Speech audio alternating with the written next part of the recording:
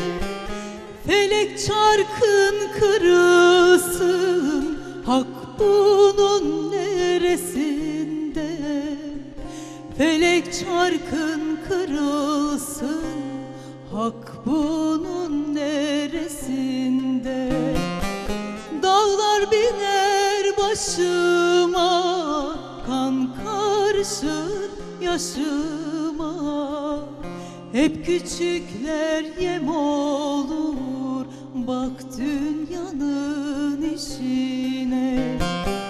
Gel dünyaya kıl nazar Bu yazgıyı kim yazar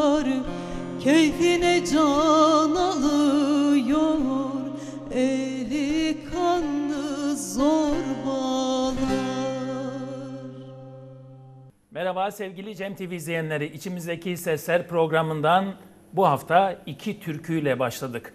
Ta çocukluğumuzdan beri sürekli bize uslu olmayı, sürekli merhametli olmayı, başkalarının haklarına saygı göstermeyi, alttan almayı öğrettiler. Ve biz hep uslu olmayı öğrendik. Oyuncağımızı aldılar, bize uslu ol dediler. Tekme attılar, biz uslu olmayı öğrenmiştik. Ve zaman geçti, büyüdük, gördük ki Gerçekler hiç de öyle değil. Büyüdüğünde de elinde bir şeyler almaya devam ediyorlar. Büyüdüğünde de tekme atmaya devam ediyorlar. Sizin gösterdiğiniz merhamet kadar dış dünyada insanlar o kadar merhametli değiller. İşte ne zaman haksızlığa uğrasak, ne zaman bize kötülük etseler, ne zaman bize acı çektirseler, o kafamızın arkasındaki uslu ol, sakin ol, onlar deliyse sen akıllı ol cümleleri hep yankılanıp durdu. Oysa herkes akıllı değildi. Herkes acı çektirmeye, daha uygundu ve haklarımız alındığında, bize haksızlık edildiğinde içimizdeki o sesle hep çatışır olduk. Ya içimizdeki sesle çatışır olduk ya da dışımızdaki insanlarla çatışır olduk. Ve baktık ki aslında her zaman uslu olmak, her zaman alttan almak hayatın gerçeği de değilmiş. İşte o zaman biz itiraz sesimizi yükseltmeyi yetişkin olduğumuzda öğrendik. Dünyanın çok adil olmadığını, insanların çok adil olmadığını, haksızlıklarla dolu bir dünyada ayakta kalmak için de itiraz sesimizi yükseltmemiz gerektiğini öğrendik. Bunu kah türkülerde, kah hayatın gerçeklerinde, kah oyuncağımız çalınırken, kah tekme yerken öğrendik. Ve türkülerde de itiraz sesimizi yükseltmeye devam ediyoruz. Bugünkü konuğumuz Songül Bulur ve birlikte türküler okuyacağız. Hoş geldin Songül. Hoş bulduk. Çok Na- güzel bir açılıştı. Biraz söylediğin türküden de esinlendim. ki- Söylediğin türkünün içeriğinde de bu Evet. var öyle değil mi? Çok güzel. Bir de e, biraz da gerçekten hepimizin tarif ettiğiniz aslında.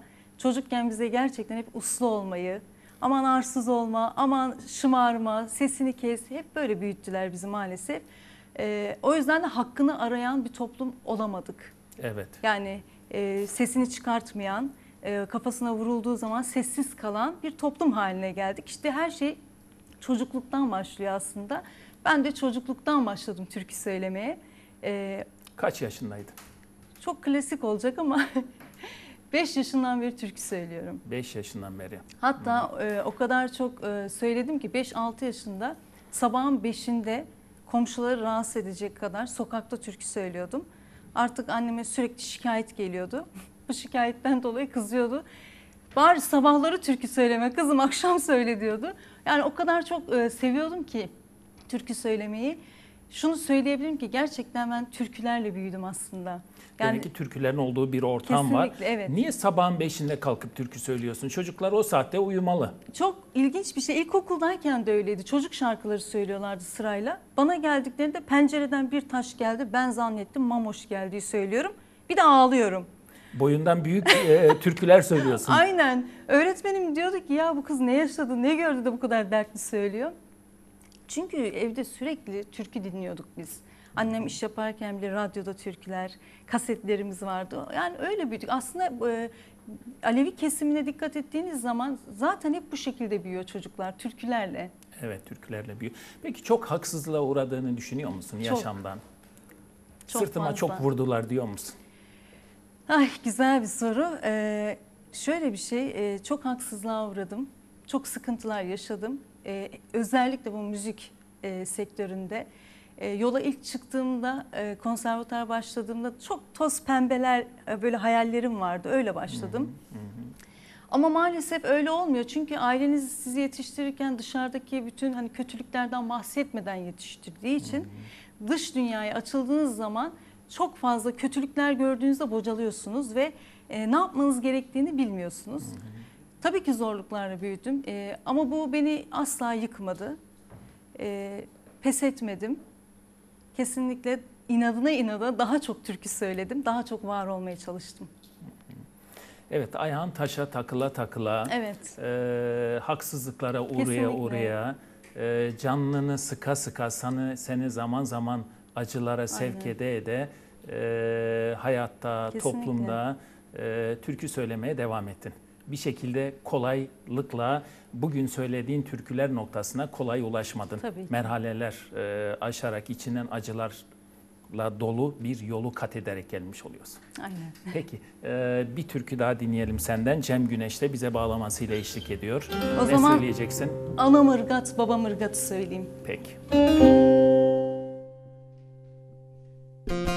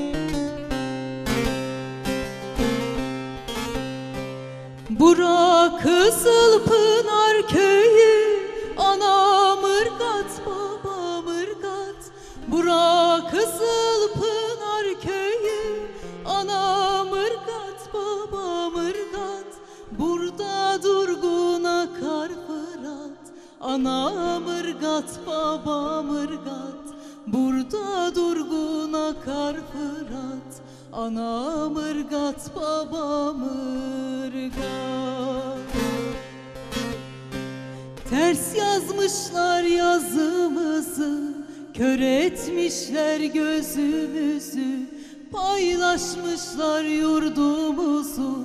Ana mırgat baba mırgat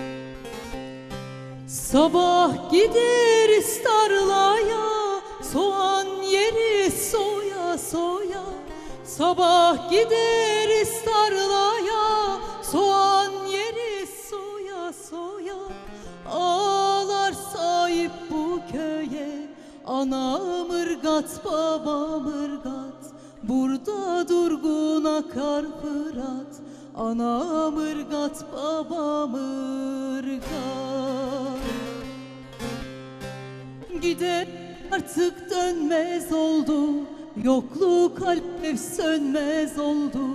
Ocağımız yanmaz oldu. Ana mırgat baba mırgat.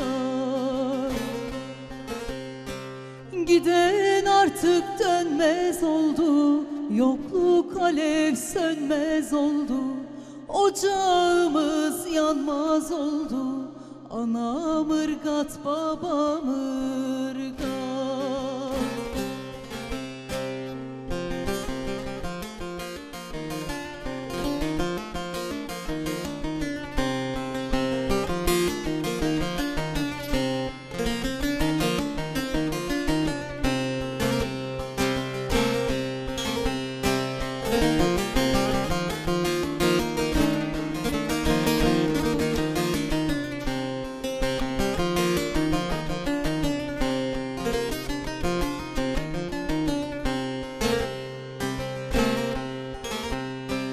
Babam aya devşirir Anam arpayı pişirir.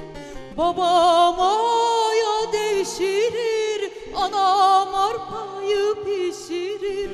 Yokluk elinden şaşırır Anam ırgat babam ırgat. Burada durgun akar fırat Anam ırgat babam ırgat Ters yazmışlar yazımızı Kör etmişler gözümüzü Paylaşmışlar yurdumuzu Anam ırgat babam ırgat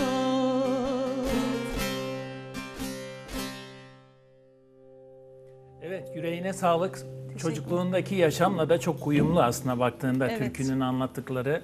Ee, çocukluğun Dersim topraklarında geçiyor. Yoksul bir ailenin çocuğusun. Beş çocukla başa çıkmaya çalışan, beş çocuğu doyurmaya çalışan anne baba.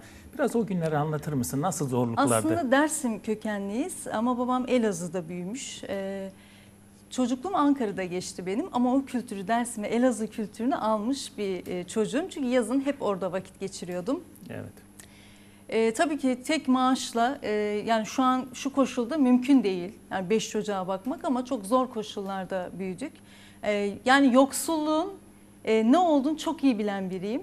O yüzden de Bir bazı hatıran aklına geliyor mu o yoksullukla ilgili? komik ama anlatırsam o Olur, kadar Anlat, anlat. ama annem anlatma dedi. anlat sen sürpriz olsun annene. Yani o kadar yoksulduk ki bakın kız çocuklarına hani mesela e, hani iç çamaşırı falan çiçekli kalpli alınır ya. Evet. E, bizim e, çuvallar vardı un, şeker yazan fabrika şeyleri vardı onlardan artık don dikiyordu. Parti şeylerinden çarşaf yapıyordu anne. Tabii biz bunu gülerek anlatıyoruz çünkü benim babam e, hiçbir zaman böyle yokluktan acı çıkartan bir insan değildi. Onu keyifle anlatırdı mesela. Biz gülerdik buna. Hani un düşünebiliyor musun? Un yazıyor. Sokakta kaybolsa fabrikaya gidebilirsin. Adres de yazıyor yani. O kadar Evet. yokluk yani. Bu kadar düşünün yani. Ama buna rağmen bizim evde hiçbir zaman e, kahkahalar bitmezdi. Biz bunlara gülerdik yani. Neydi Çok- sizi böyle ayakta tutan, Sevgi. e, kahkaha bu kadar Sevgi. güvende hissettiren? Yani o sevgiydi. Babam çünkü bizi çok sevdi. Ee, ve bize ona yansıtmamak için elinden gelen her şeyi yaptı. Hatta taklitler yapardı, bizi güldürürdü. Biz zaten böyle Baban Hani eğlenceli bir adam çok mıydı? eğlenceli bir adam. Hani yoksul olduğunu, fakir olduğunu bile anlamıyorsun. Yani dış dünyaya açıldığın zaman aa hani ben de yokluk yaşıyormuşsun. Onlarda bunlar varmış, bizde evet, yokmuş görünce kıyaslıyorsun. anlıyorsun aa benim hani durumum böyle diye. Ee, tabii ki çok sıkıntılarla okuduk. Hani kolay değil bu. Böyle anlatıyorum ama şu an Türkiye'de üniversite öğrencilerinin durumunu görüyorsunuz. Evet, E, evet. Yurtlarda Yurt kalamıyor, yurt bulamıyorlar. Evet. E, inanın ki o kadar zor koşullarda eğitim görüyorlar ki onlar için de zor bir süreç. Yani e, tabii ki belli bir kesim her zaman eziliyor maalesef. Öyle büyüdük yani ama her şeye rağmen hepimiz okumaya çalıştık. Ben okudum, e, emek verdim, e, başardım. Evet. Yani o yoksulluğun, o yokluğun aslında hüzün e, veren bir şey olduğunu farkında değildin. Bunu hüzün olarak değerlendirmiyordun. Kesinlikle. Ama büyüdüğünde belki o yokluktan daha farklı şeylerle karşılaştın. Biraz daha e, iyi koşullara geldin. Aslında hüznün de çoğaldığını gördün. Evet. Varlıkla beraber hüzün de çoğalıyor hayatta. Aynen öyle. O yokluğu şöyle hissediyorsunuz. Ben e, hani konservatuara başladım yıllarda onu aslında çok hissettim. Çünkü konservatuar Nasıldı? okumak öyle kolay değil. Bir de harçları falan daha yüksek oluyor. Bir de opera bölümünü okuyorsunuz. Yani e, zor ve hiçbir şekilde hiç piyano görmemişsiniz hayatınızda. Ben aslında hep Ruhi Su'dan hocadan çok etkilendim. Opera okumana Ruisu mu etkili oldu? Kesinlikle öyle. Çünkü çocukken sürekli onu dinliyordum ve onu o söyleyiş tarzı bana çok farklı geliyordu. Ee, sonra işte hani opera bitirdiğini işte böyle şan tekniği bunları öğrendim ama yani öyle piyano ile falan bir çalışma falan olmamıştı. Konservatuara hazırlanırken hani e, koşullarım da çok kısıtlıydı. Konservatuarda anladım aslında biliyor musunuz? Üniversite yıllarında sıkıntılar hani o zaman fark ediyorsunuz. O zorluklarla bir şeyler yapmaya çalışıyorsunuz. Okumaya çalışıyorsunuz. Yani öyle kolay değildi gerçekten. Üniversite zorlu geçti, Evet. sıkıntılı geçti. Evet. Çünkü maddi olanaksızlıklar devam Kesinlikle. ediyordu bir yandan. Peki baban emekli oluyor, sana piyano alıyor, Aynen. emekli maaşıyla. Herkes o zamanlar emekli olanlar aldığı tazminatla bir ev alabiliyorlardı. O derece bir e, tazminat koşulları vardı. Şimdi emekli olduğunda ne alabilirler bilemiyorum Tabii ama o canım, zaman, çok- o zaman- emeklinin durumu daha iyiydi. Yani hani bir yer açın, şunu yapın. Hani zaten hani borçlarla düşünebiliyor musunuz? Çocuklarınızı okutuyorsunuz. Ee, bir gün babam şey dedi, okula konservatuara gitmek de istemiyorum, o psikolojideyim. Bazen bırakıyorum ama şöyle bir şey, ben çok yeteneğime sarılan biriydim. Çalışmaktan öte sınava gelince yeteneğimle yapıyordum ama çok çalışkan bir öğrenci değildim. Ee, bir gün babam dedi ki ya kızım senin okulun niye uzuyor dedi, sen niye bitiremiyorsun bu okulu dedi. Herkesin piyanosu var, benim piyanom yok. dedim babama. Aslında bahane biraz sunmuştum. Gerçekten babam erken yaşta emekli oldu. Sağlık koşulları da el vermemişti. Ee, bir gün baktım klasik eve piyano geldi. Ya düşünebiliyor musunuz? Belki yemek masası yok ama piyano var evde. Hani herkes bizim evi ziyarete geliyor. Bakıyorlar piyanoyu inceliyorlar. Diyorlar ki bu adam kafayı yemiş. Yani bu para buna yatırılır mı? Bunu alacağına bir yemek masası alsın, Şunu evin ihtiyaçlarını Tabii, görsün annem demişlerdir. söyleniyor, kızıyor. Şimdi komşular "Aa, dedikoduya baba." başlamıştır değil mi? Aynen öyle. Ama e, sonra herkes öyle düşünürken babam ben sanata yatırım yaptım dedi. Ve en güçlü şey silah sanattır dedi. Kesinlikle dedi. E, inanıyorum ki çok güzel hani bu ülkenin sorunlarını dile getirecek türküler söyleyecek benim kızım ve ben e, geçmişe, ileriye en büyük yatırımı yapıyorum demişti babam. Hiç unutmuyorum. O yüzden hayatımda çok ayrı bir yeri var babamın. Evet. Ee, Peki e, televizyonların, programların bir özelliği var. Reklam arası var. Ee, kısa Evet. bir reklam arası verelim. Daha Tamam. sonra devam edelim. Songül Bulur'la programımız reklam arasından sonra devam edecek.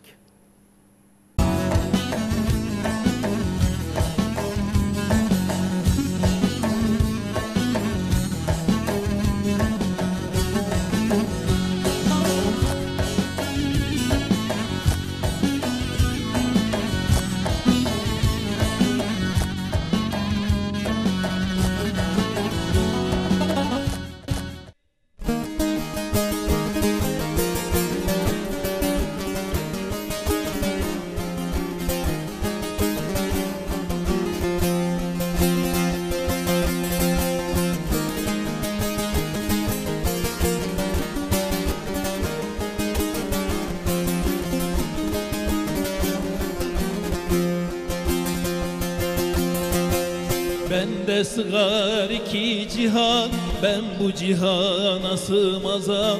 Yersiz yursuz gevher benem Hiçbir mekana sığmazam. Hem sedefem hem inciyem Sırattan da geçiciyem. Bunca atlas kumaş ile Ben bu dükkana sığmazam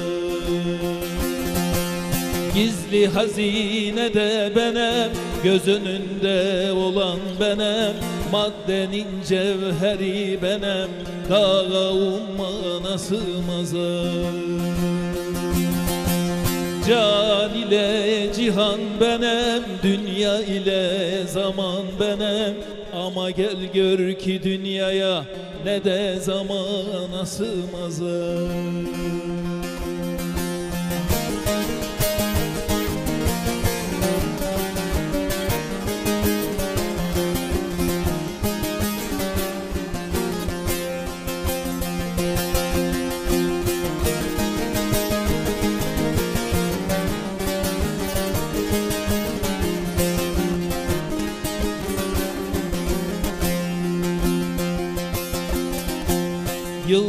Yıldızlarla felek benem, vahiy ile melek benem. Çek dilini dilsiz kesil, ben bu lisana sığmazım. Zerre benem, güneş benem, çarüle cüşeş benem. Her şey açık ve meydanda, ben bu meydana sığmazım Ateşteki ağaç benem Dönüp duran şu taş benem Bak şu ateş yalımına Ben bu yalıma sığmazım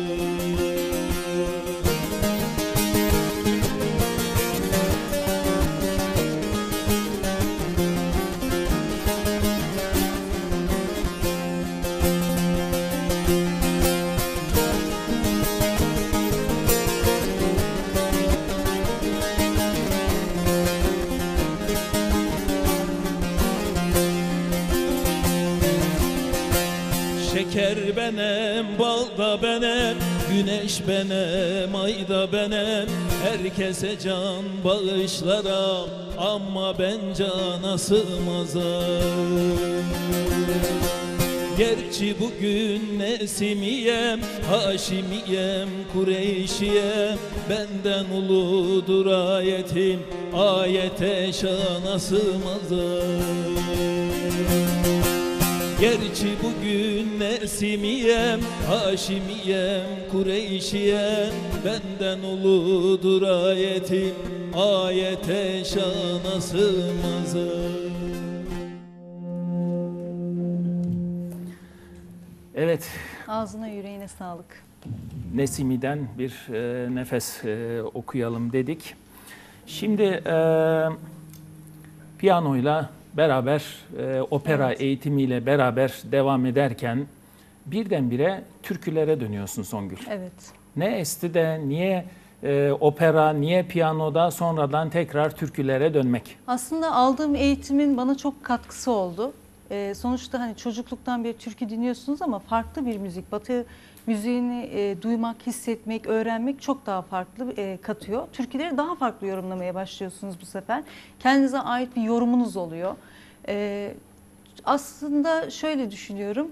E, iyi ki türkü bölümünü okumamışım. Farklı bir müziği dinlemek e, insanı geliştiriyor. Bu bana çok şey kattı. Ee, tabii ki dayanamadım, gene türkülere döndüm. Ee, türküler bizim için çok e, bizim özümüz, e, toplumun sorunlarını dile getiren, e, gelecek kuşaklara aktaran, bizim en büyük e, kalemimiz olduğu için tabii ki türküleri tercih ettim. Çünkü benim kültürüm, benim özüm. Biraz da kendi yurduna dönmek gibi sanki. Tabii ki Biraz öyle. da sa- hem yurduna, memleketine dönmek gibi türküler hem de sanki çocukluğuna dönüp daha güvenli bir ortam arayışı mı var sanki türkülere Olabilir. dönerek? Kesinlikle öyle olabilir. Çünkü şimdi şöyle düşünün. Mahsuni Şerif'in e, yazdığı türkülere baktığınız zaman hani geçmişte yazdığı türküleri biz bugün de yaşıyoruz. Evet. İşte Pir Sultan'ın sözlerine baktığımızda hani ufkumuz genişliyor, yolumuz oluyor bizim. O yüzden türküler aslında bizim hani geleceğimiz, geleceğimiz olduğu için tabii ki özüme tekrar sarıldım. Ondan asla kopamam. Böyle bir şey mümkün değil zaten. Ama farklı bir kültürü, farklı bir müziği dinlemek, öğrenmek de bu zenginlik katar bana. Evet. Ben kendimi zenginleştirdiğimi düşünüyorum. Evet, peki. Ee, türküler söylemeye devam ediyorsun. Bakalım izleyiciler Songül Bulur'la ilgili neler söylemişler? Bakalım. Bir videolara bakalım mı? Bakalım. Peki. Sevgili Songül Bulur, canım arkadaşım, güzel dost yüreğim. Hayata karşı duruşuyla, bakışıyla, güzel yüreğiyle, güzel sesiyle her daim hepimiz umut olmaya devam ediyor. İyi ki seni tanımışım, iyi ki canım arkadaşımsın. Songül denilince bizim pek bir şeyimiz yoktu. Tavuk, soğan, karanfilde yediğimiz kestaneler ve bir gün içinde üç tane girdiğimiz film. Sinemaya gitmeyi çok severdik. Songül'ü anlatmak, e, birkaç cümleyle anlatmak çok kolay değil. Sadece şunu diyebilirim ki, hayata bakışıyla sesinde yansıttığı tını aynı olan çok özel bir dostumdur. Kendisi çok naif, çok duygusal, çok saygılı, doğaya, insanlara, her şeye, herkese karşı çok güzel duygular besleyen bir sanatçı arkadaşımız. Sesinde o kırılganlık, o naiflik de ondandır. Ruhuyla orantılı bir yorumu vardır. O yüzden onu çok seviyorum. Onu sanat sevdalısı, türkü sevdalısı kızım. Sen bu cemiyata dostunu, düşmanını, insanları çok iyi tanıdın. Yolun açık olsun. Yıllar önce bir konser vesilesiyle tanışmıştık. Songül'ün sesini ilk dinlediğimde sesine türkülerin ne kadar yakıştığını düşünmüştüm. Songül çok mütevazi ve iştendir. Onda klasik sanatçı kaprisi bulamazsınız. Ama fotoğraflarını güzel çekmemiş iseniz kaprisin alasını görürsünüz. Songül'ün sesi kadar kalbi de güzeldir. Yardımsever ve merhametlidir. Sevgili Songül, Mobil Lisesi'nin yetiştirdiği sanatçı öğrencilerimizden bir tanesi. O dönemde halk müzik konuları e, çok ciddi çalışmalar yapardık liselerde. Çok ciddi halk müziği koroları yapardık. Çok güzel repertuarlarımız olurdu. E, çok ciddi anlamda repertuar sahibi olarak öğrencilerimiz mezun olurlardı. Songül de bunlardan bir tanesi. Dişinle, tırnağınla, büyük emek vererek yürüdüğün bu yolda ben seni hep yaşayarak söyleyenlerden olarak niteliyorum. Yaşayarak söylüyorsun ve şu anda toplumsal birçok sorunda duyarlılığını görebiliyorum. Seninle ilk tanıştığımız yıllarda daha çocuk denecek yaşlardaydık. Ve Ankara'ya geldiğimiz yıllardı. O yıllarda seninle tanışmıştım. Ve o yıllardan beri dostluğun, arkadaşın, samimiyetin bir an olsun beni yalnız bırakmadı. Songül'ün e, konservatuardan müzik tarihi ve opera tarihi öğretmeniyim. Songül deyince belki pek çok insanın içinde öyledir. Benim yüzümde hemen kocaman bir gülümseme oluşuyor. Ve Songül'le birlikteyseniz bu gülümsemenin kahkahalara dönüşmesi an meselesi zaten. Songül Bulur. Songül türkü söylemek için doğmuş billur sesli kadın. Ee, çok seviyorum onun türkülerini dinlemeyi. Aynı zamanda çok güzel bir tiyatro yeteneği var. Tiyatroya merakı da var. Skeçlerini canlandırmalarını izledim. Çok beğendim. Sadece bir türkünün ismini vermeniz yeterli. Size yüreğiyle okur o türküyü. Merhaba Songül. Ya bu kadar uzaktan da olsa yine de seninle birlikte olmak çok güzel, çok keyifli. Ee, biz Songül'le 16 yaşından beri birbirimizin hayatındayız. Aslında o hani gençlik, çocukluk, e, o büyüme süreci, hayata katılma, mücadele etme, e, belki bir türküde, bir cümlede, bir şiirde, e, sanatın herhangi bir yerinde ya da sokakta, e, yaşamın herhangi bir yer bir yerinde seninle olmak bir kere çok güzel, çok keyifli, çok besleyici. Evet, e, yorumları izledin. Evet. Ne düşünüyorsun yorum yapanlarla ilgili? Yorum yapan dostlarıma, öğretmenlerime, herkese çok teşekkür ediyorum. Sanatçı dostlarıma. Ee, beni anlattıkları için e, aslında çok böyle duygulandım. E, farklı bir duygu. Şu an ben çok duygusal bir an yaşıyorum aslında. E, çok teşekkür ederim. Hocalarım benim için söylediği şeyler çok değerliydi. Müzik öğretmenim e, Tülay Hoca'nın özellikle e, lisede bana çok büyük emeği olmuştur, desteği olmuştur. E, repertuar açısından bana çok katkısı olmuştur. O yüzden öğretmenlerime, dostlarıma, sanatçı dostlarıma çok teşekkür ediyorum. Peki o halde bunun üstüne artık bir türkü söylersin. Evet, neden türküler demiştiniz ya. Bakın Mahsuni Şerif yıllar önce yazdığı şeyi, türküyü biz bugün yaşıyoruz. İşte bu yüzden türküler. Bu türküyü e, mesajı iletmeye gerek yok artık. Gideceği yere gidecektir yani. Peki dinleyelim.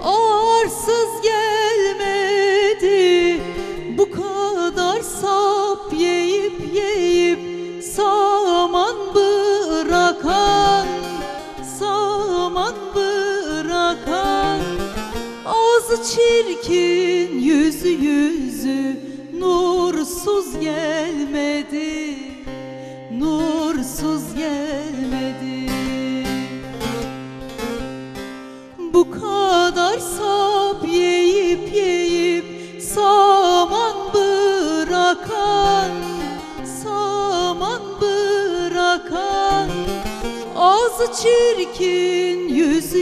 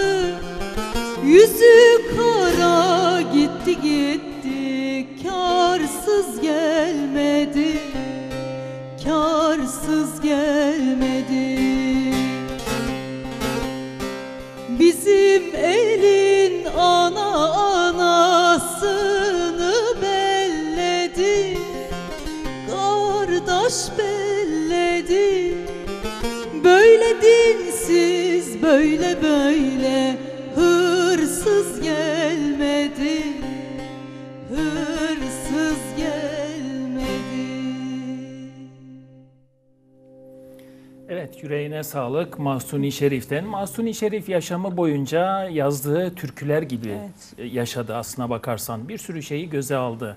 Hapse girdi, çıktı, yoksullukla e, yüzleşti, hiç bana mısın demedi.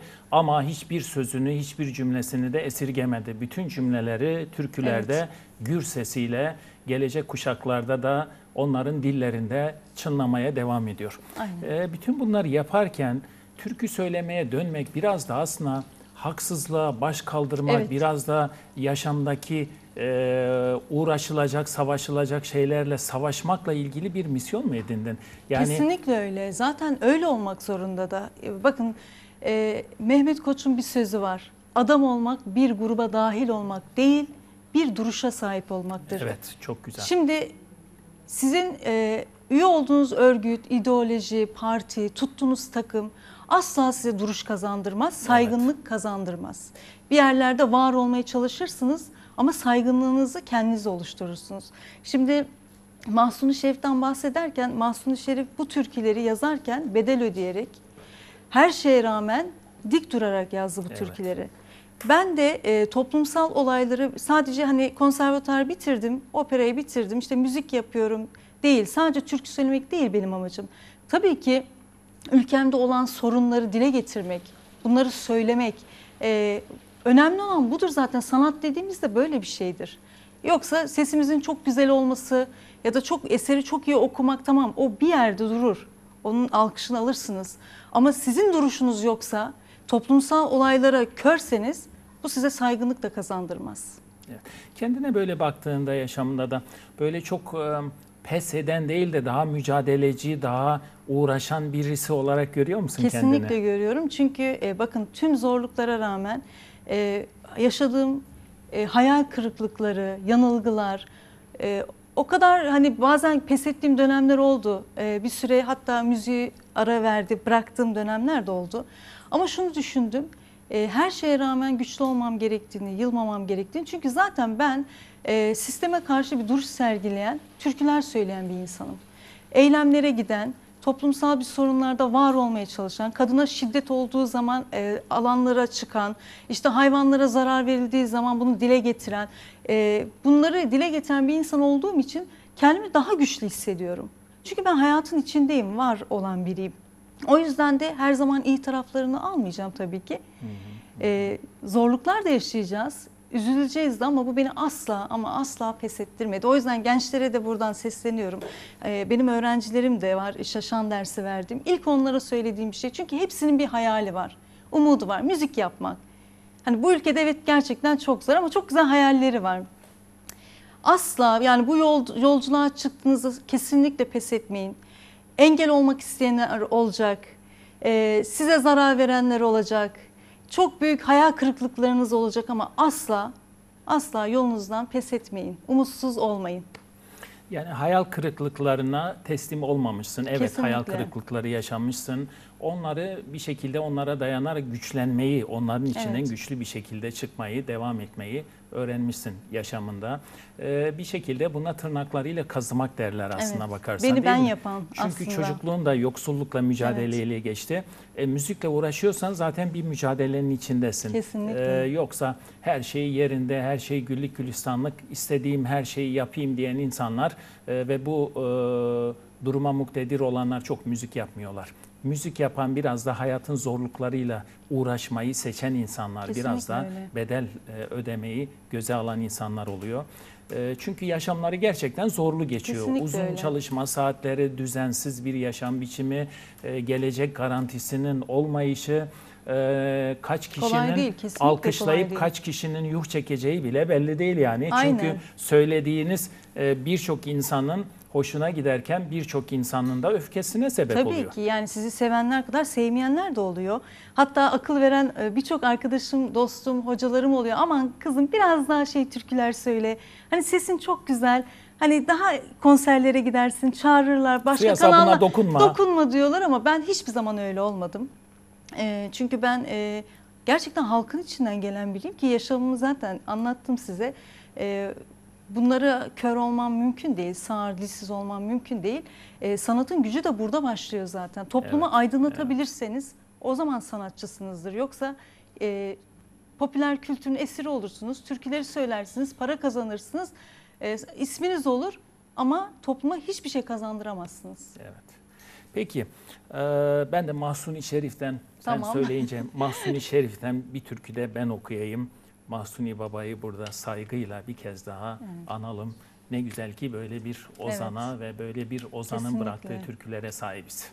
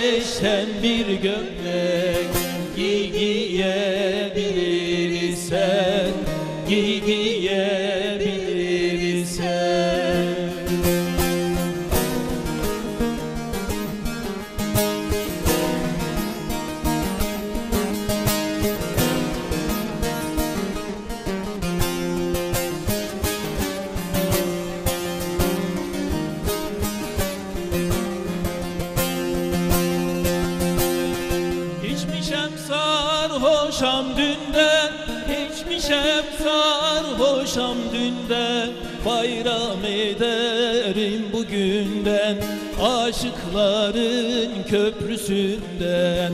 Döndüm de geçemedim Döndüm de geçemedim. Oy tabip bu yarayı sar sarabilirsen Sevda ateşten bir kale var varabilirsen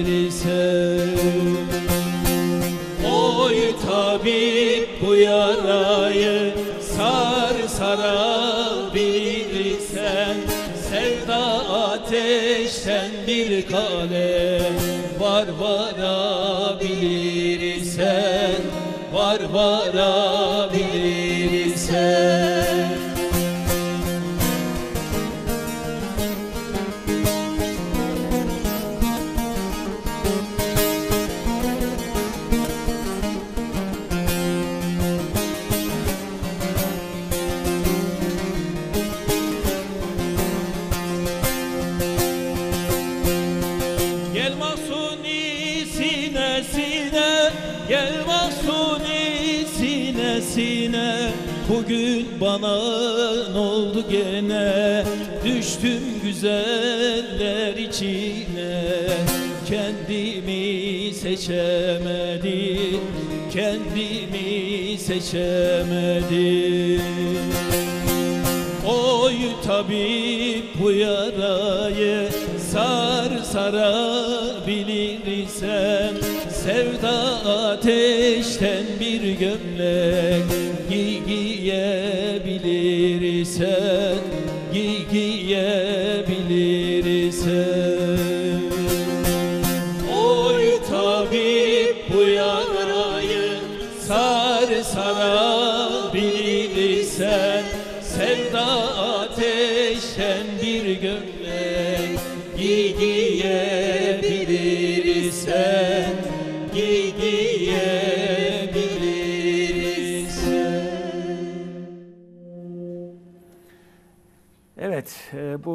Mahsuni Şerif'in e, güzel, anlamlı türküsünden sonra tekrar bir reklam aramız var. Tamam. E, reklam dönüşü tekrar devam edelim olmaz mı? Olur. Kısa bir reklam arası.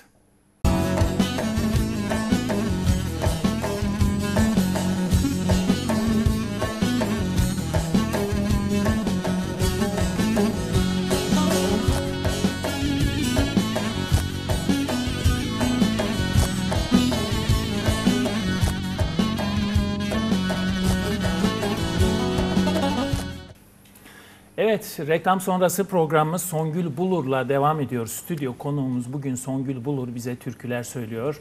Duygusal da bir insan zaman zaman ağlamanın eşiğinde durduğumuzda oluyor. Ee, çünkü yaşama doğru gitmek, çocukluğa doğru gitmek e, ister istemez duygusal süreçlere de gitmek demektir. Yokluğa gitmek, perişanlığa gitmek çoğumuzun hayatında, çoğumuzun çocukluğunda hep tanık olduğumuz şeyler bunlar. Programımızın bu bölümünde yine portreler var ve dönüyoruz portrelere. Aşiretimiz Canbek aşireti. Bir aşiret değil, bir aile. Biz bir aileydik yani aşiret şeklinde değil. Büyüklerimiz, küçüklerimiz aynen bir aile gibiydi. Hakikaten öyleydi. İşte köyde ilkokulu bitirdim. Ortaokulu Sivas'ta okudum. Ondan sonra geldim çiftçilik yaptım. Traktör aldım. Ee, muvaffak olamadık. Verim arazinin verimi şey yapmadı. Boşa çalıştık. Ondan sonra askere gittim. Askerde geldikten sonra Milli Eğitim Bakanlığı'nda memur oldum Ankara'da. Ee, askeri yönetimdi. Kenan Evren zamanında. Yaşlar bana dedi ki sen belediye başkanı olursan biz burada biliyorsun Çetinkaya'da karışıyoruz. Gençlerimiz Allah korusun bir şey yaparlar. Başımıza iş açarız. Ya bir pencerenin camı kırılsa sabah kadar artık nöbet bekleyeceğiz. Bu toplumları aldatıp kendi çıkarları için millete yanlış yol gösterenlere çok üzülüyorum. İki oğlan kaybettim. Onlara da çok üzüldüm. Yenge nihayet yaşlıydı. Yani ben de şu anda hastalık var biliyorsun. Dua ederken Rabbim diyorum gençlere dokunma. Biz bizi götür. Onlar yerine bizi götür. Gençlere acıyorum. Ben çok usluydum. Çok usluydum. Hiç kimseye rahatsız etmezdim. Hatta elim işe girdikten sonra da benden çok büyük yaşta kalabalıktık biz. O gençler damlarda aşık oynarken ben ahıra ağala hizmet ederdim. Marif Bakanlığı'nda günlük gazeteler İzmir'den, Ankara'dan, İstanbul'da gelen günlük gazeteleri okurdum. Başlığı ilk öğretim, orta öğretim, yüksek öğretim, güzel sanatlar. Yazı gazetede bunu bunları ilgilendiren yazılar varsa kırmızı kalemle çizerdim. Bayanlar vardı. Bayanlara verirdim. Bayanlar makasla onu keserlerdi. Tarihini, sayfasını sütünlü yazarlardı. Hangi kısma gidecekse ilk öğretim, orta öğretim.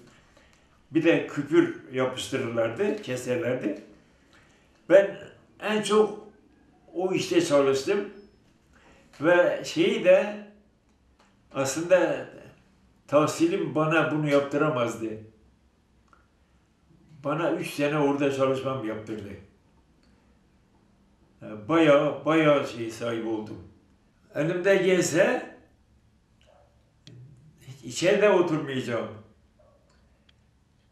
Dolaşacağım, gezeceğim, faydalı olacağım topluma. Onu yapamıyorum. Gücüm kalemme yetiyor, yazmama yetiyor. Onu da elimde geldiği kadar değerlendirmeye çalışıyorum, çalışacağım. Devamlı yazacağım. İnşallah eşe dostlara parasız pulsuz vereceğim okusunlar. Herhalde faydalı olur.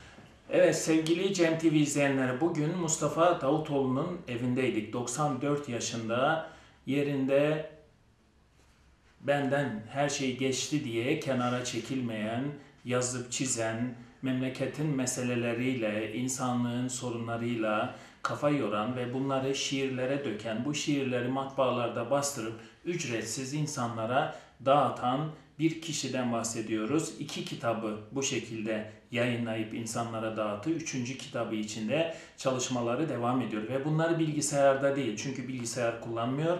Hala o eski sistem daktiloyla bunları yazıyor ve bunları matbaaya veriyor. Bunların yayınlanmasını sağlıyor. Mustafa Davutoğlu Sivas Kangal'a bağlı Çetinkaya Davutoğlu köyünden e, soyadını alan bir köyden ve Canbek aşiretinin ağalarından gelen bir aileden geliyor. E, ve o Canbek aşiretinin geleneklerini, göreneklerini e, çok iyi özümseyerek yetişiyor. Dedelerle, şairlerle, halk ozanlarıyla iç içe geçmiş bir yaşam. Yunus'tan, Mevlana'dan etkilenmenin sonucu e, şiirler yazarak aslında kendisini sonsuzlaştırmak isteyen, var etmeye çalışan, gelecek kuşaklara e, mesajlar bırakmak isteyen bir portreyle bugün söyleşi yaptık. Düşünmediğin bir anda ne olacak bilemezsin. Çok kederli bir zamanda bela gelme diyemezsin. Başında bir bela varsa ikincisi hazır olur. Hazır deyip güvendiğin belalı bir hızır olur.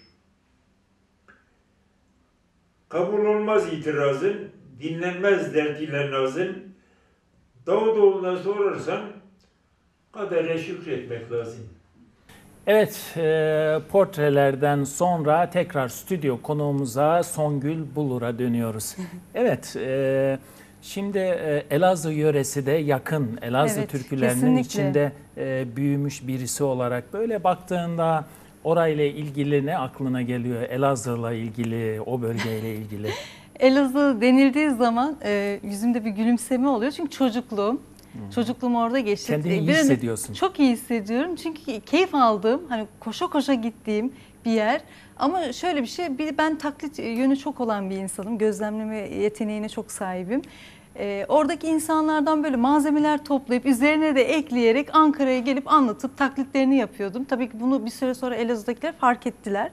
Ortamda böyle e, işte konuşmuyorlar. Ben girince susuyor herkes. Tekrar dışarı çıkıyorum konuşuyorlar. Ondan sonra içeri girdim böyle diyorlar.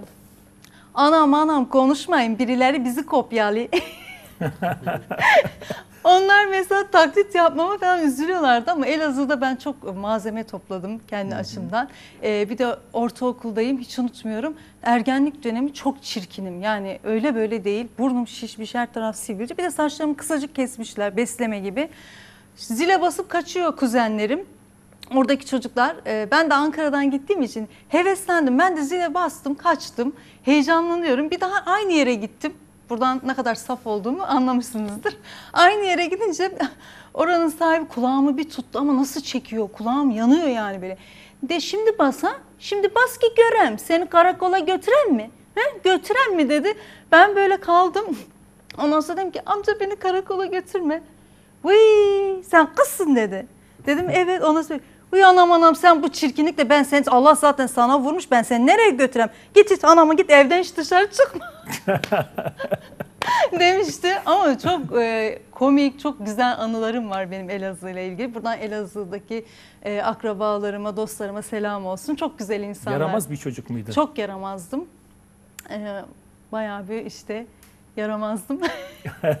Epey bir yaramazlıklarım Çok var. yaramazdım. Evet. Böyle e, sıkıntıyı da yaşadıklarının olumsuzlukları da neşeye çevirmeyi becerebilen de bir insansın. Evet. Kendinle de çevre yaşamla da dalga geçmeyi de bilen bir insansın. Bahsettiğine göre biraz babandan mı bu özelliği aldın? Babam öyleydi. böyle Babam galiba. çok komik bir insandı ve dediğim gibi yani o hani sıkıntılı süreçte hiç bize yansıtmadı. Bunlardan komedi çıkarıyordu. Kombimiz bozuk aylarca. Arada böyle sıcak su yükseliyor. Misafir gelmiş oturuyordu. Babam şey yapıyordu. Çocuklar soyunun kombi yanıyor. Hadi herkes yıkansın falan. Herkes gülmeye başladı ama buna mesela üzülmezdi. Yani e, espri yapardı insanları güldürürdü. Ben şöyle bir şey ben çok e, acı çektiğimde ya da çok üzüldüğüm zaman bununla dalga geçmeyi öğrendim. Gülmeyi. E, kendimi kendime gülerim mesela yaptığım yanlışlardan falan. Sonra ondan bir şeyler çıkartırım. E, yoksa hayat e, bence çekilmez. İnsanlar da hani e, bir, bir derdiniz varsa üzüntünüz varsa ona takılı kaldığınızda sadece vah tüh dediğinizde hiçbir adım öteye gidemiyorsunuz. Ama gülmeye başladığınızda ya ben mesela çok mutsuz olduğumda etraftaki insanları belki de hani güldürerek motive ediyorum. Ya belki de acımı bastırıyorum onu bilemem psikolojik olarak. Artık size kaldı. Ama e, şey yapmıyorum. Benim üzüntümü etraftaki insanlar da çeksin. Onlar da üzgün olsun istemiyorum. E, gülerek, taklit yaparak, insanları mutlu ederek daha çok atlatıyorum. Belki de altta yatan acıdan, hüzünden Evet. biraz kaçıyor musun? Sanki biraz da bunu e, neşeyle, bunu espriyle Aynen. öne çıkararak alttaki o acıyla, hüzünle karşılaşmamak Ama öyledir ama acıları çok olabilir. e, yoğun olan insanlar çok gülen insanlardır aslında. Öyledir. Baktığında benim de gömdük, gömdüğüm o acılar, sıkıntılar çoktur der misin? Kesinlikle. Yani işte o yüzden bu kadar çok gülüyorum hayata, e, kaçırmamaya çalışıyorum. Hı hı. Daha e, çünkü e, eğer orada geçmişte ya da üzüldüğünüz şeylere takılıp kalırsanız e, başarılı olamazsınız, hiçbir şey yapamazsınız. O yüzden gülüyorum, eğleniyorum. Bir de öbür tarafından bakıyorum yaşamın. Keyfini çıkartıyorum. Peki, e, ne dinleyeceğiz şimdi? Dillerim lal. Peki. Dağların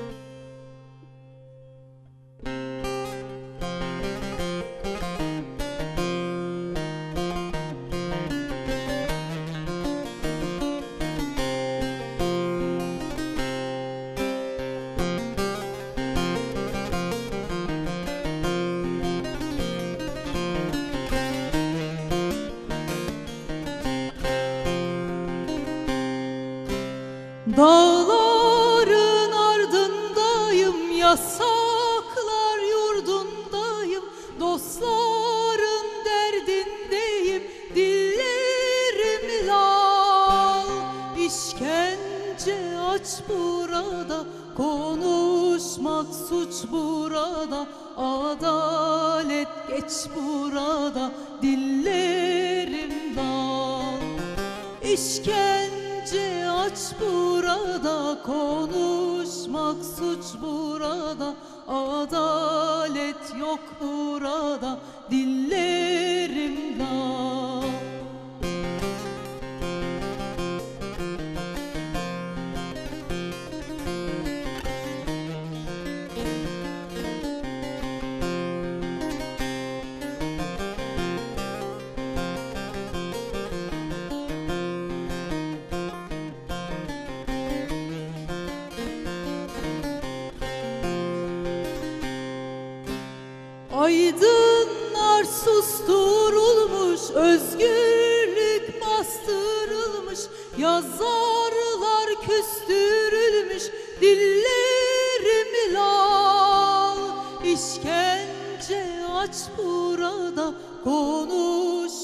suç burada, adalet geç burada, dillerim lal.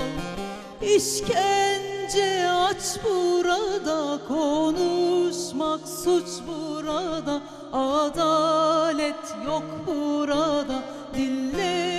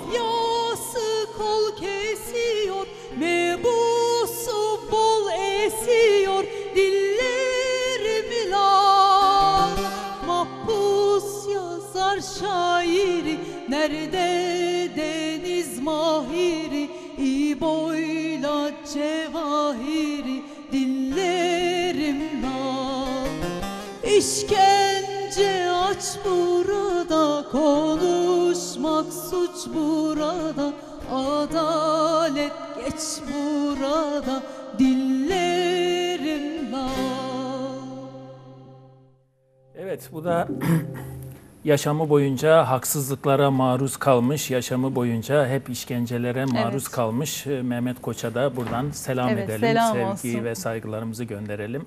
Ee, yaşam her zaman adil olmuyor. Kesinlikle Önemli öyle. olan bunun karşısında durmak.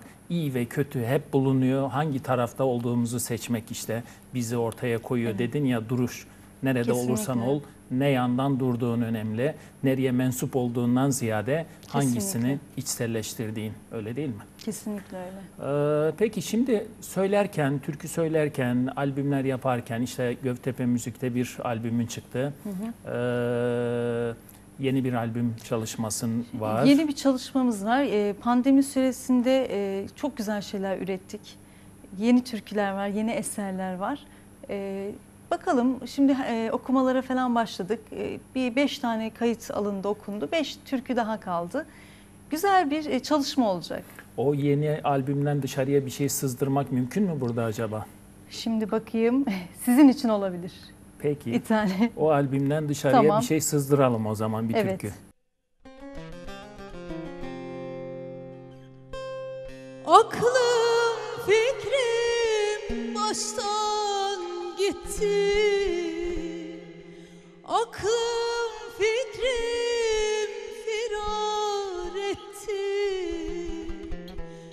Del oldum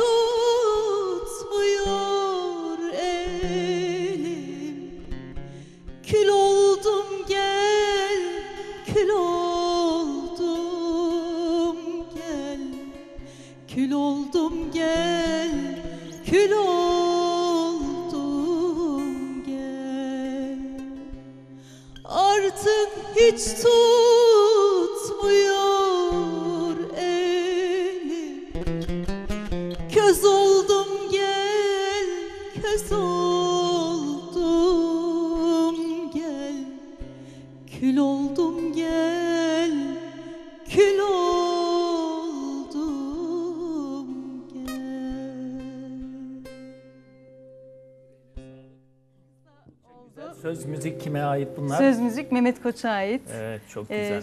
Tabii ki e, yeni olduğu için e, Cem de Cem'e de sürpriz oldu şu anda. Kısa olsun Bunu dedim. biz spoil ne derler yeni nesil Evet. spoiler yaptık. Aynen öyle oldu. Biz spoiler verdik bu şeyle yapacağın çalışmayla ilgili. Ee, gerçekten de baktığında dünya merhamet konusunda gittikçe bir çöle dönüşüyor. Aynen. Dünya yardımlaşma konusunda gittikçe bir çöle dönüşüyor. Adalet konusunda dünya bir çöle Evet. dönüşüyor. Yeter ki insanın gönlü çöle dönüşmesin. Yeter ki insanın yaşamı çöle Evet. dönüşmesin. Ee, yokluklar içinde bile e, gönlü yeşertmek, yokluklar içinde bile yaşama önemli anlamlar katıp ayakta kalmak her zaman mümkün. Ben çok çok teşekkür ediyorum. Ben teşekkür Ee, ederim. programımıza renk kattın, türkülerinle, anlattıklarınla.